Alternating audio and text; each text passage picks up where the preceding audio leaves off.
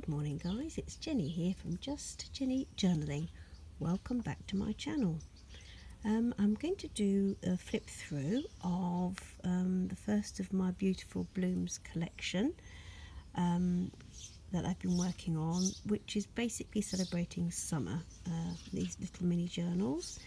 Um, so this so far consists of this little beauty, which I've called Wildflowers and Roses. Um, I've also put together this little one here, which I've called Write. And this Daphne's Diary covered um, journal as well, which is called Playing in the Garden. But what I'll be doing is actually, um, I'll film them separately so the videos aren't too long and I'll link the oh, so I'll start with this one and I'll try and link the others down below so it's not too hard to find them so first and foremost as I said this little mini journal is a repurposed uh, book cover and it's called um, actually it's called Wildflowers at a Glance. And if you can see that but it's absolutely gorgeous. I love the colour on it. And um, I called it Wildflowers and Roses because when I started to choose the papers for it, most of the papers I really liked with this one were um, rose themed from a little um, address book that I picked up at a charity shop. Um, so that's why I've called it Wildflowers and Roses. I don't know if you can see that. So I've left it as it is. The measurements are uh, it's 17.5 centimetres long and 11 centimetres wide And it has two signatures and I've lace covered the spine in lace on this one and I've just done a little mini journal as well this little um, with some of the scraps from this so that goes with it so I've actually covered the spine with lace with beautiful red lace and I've popped a little um, little vintage linen piece um, with the rose brad um, on the front um, and this little piece here is from my stash, but I've actually shared some in my um, a little. Oh, let me see. I've shared some in my shop. I've got a little collection of fabrics and bits and pieces, crocheted pieces and linens. So if you'd like to add any of these to your your stash, pop over and take a look. So um, I've done 68, no, 64 pages in this one. I popped a little um, crochet piece in there, which I really like. And I've just kept it quite plain for journaling really. Not lots of fuss and pockets. Well I've tried to. I find it really hard not to to be honest.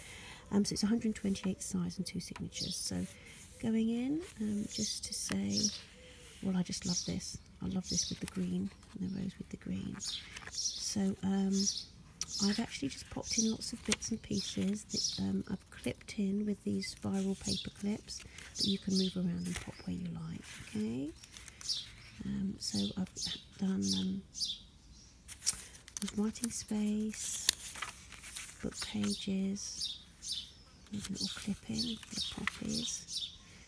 From the Cath Kidston um, writing, some writing envelopes that I picked up. Um, so I popped those in because they're beautiful. And this from a writing set, bit of stamping there.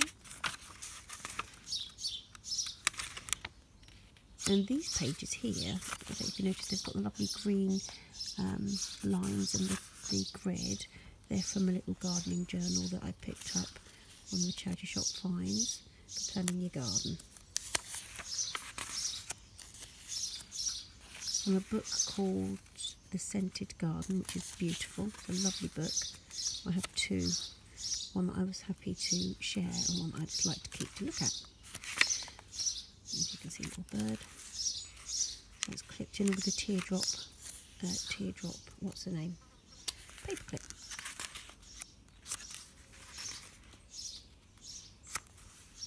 I've done of bits on this one, if you can see.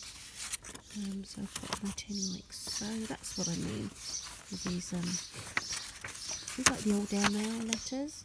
If you, any of you old enough to remember those, that you sort of wrote your, your, your, letter in and then you just sort of folded it over and popped it in the post. Well, they're kind of like that. That's how they're set up, these, um, just with a lovely Cath Kidston uh, pattern on it. The centre of that one. And that's from the Scented Garden, but I don't know if you can see how beautiful. I couldn't cut that, folded that out. And on that side we have this. Absolutely gorgeous. So you can hear the birds. It's quite early in the morning here. I need to get up to try and do this before the day kicks off. So sunny Oxfordshire, it actually is sunny. I don't know what the weather's like where you guys are, but we have been enjoying some sunshine.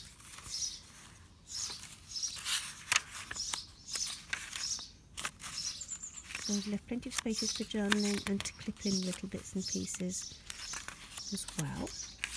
A Little stenciling there. Of the. Just a little bit of stamping. Mm -hmm. And that's the end of the first signature. And I love the way the little um, doily, the crochet doily peeps out from the bottom there. I think it's really pretty. Uh, this was from the little address book again, but I love it. I love. I think it's just so so gorgeous. And popped a little uh, contrast on the cardstock there. I thought that this little rose went really well with the, the cardstock. So I'm just being quite indulgent, celebrating summer. I just on a book about um, looking after your house plants. I just love the pages in it with the text and little sort of green, um, green and white pictures of your plants. So that's another of the Cath Kidston writing your pieces. So you can use it for collage if you like, or write in it, and pop it into your journal, or pop it in somewhere else. It's really up to you. Uh-huh. There you go.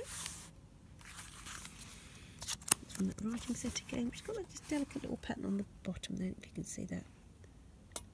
Looks like a little fuchsia. Not sure though. I'm not sure. It might just be a pattern. so that's from the houseplant book. Just some different pages from my stash. It's got a real fresh, vibrant look. I love it. I love it. Little greetings card there. And then I liked this black and white sort of painting with the flower. The floral arrangement in the middle a little one of these uh, butterflies that you can pop in you like.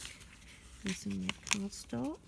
And this was um, I had this from a book on wallpaper different wallpapers and this was like um, a flock sample. Uh, I've had it in my stash for ages and I thought it was really really appropriate for this little project. A little bit of stamping again but isn't that beautiful?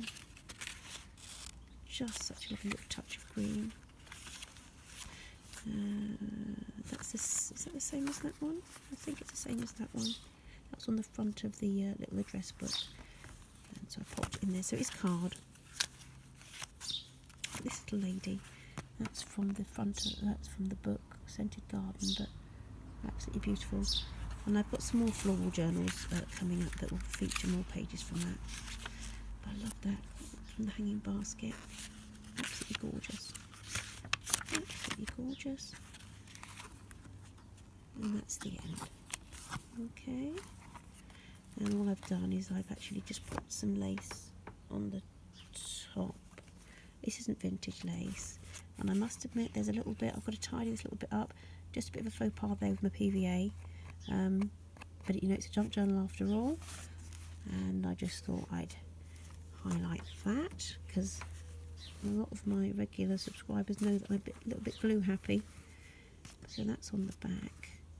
And I've just popped a little um, mini journal together to go with it. Just a little, you know, popping in your, uh, what's the word, handbag. It's just filled with just diff different types of papers. So I haven't done anything fancy with it. But I just thought as I was uh, popping papers together from this and I just I liked the cardstock. So you've got a, a mixture of tea dyed and um, lined papers in this little beauty as well. So that's it for that one, guys. So this is going to be called Wild Flowers and Roses, and these two do come together. Um, so I'll the next one I'll do now will be right from that little companion. Okay, and then I'll um, pop the link for that and for the Playing in the Garden Daphne's Diary one. I'll pop those links down below. Take care, guys. Take care. Bye bye. Oh, and also pop a link to my Etsy for the um, little vintage fabric pack should you uh, wish to have a look at that because it's got some of these pieces in and the fabrics that I use in the collages for the Daphne's Diary as well. Take care. Bye bye. Bye.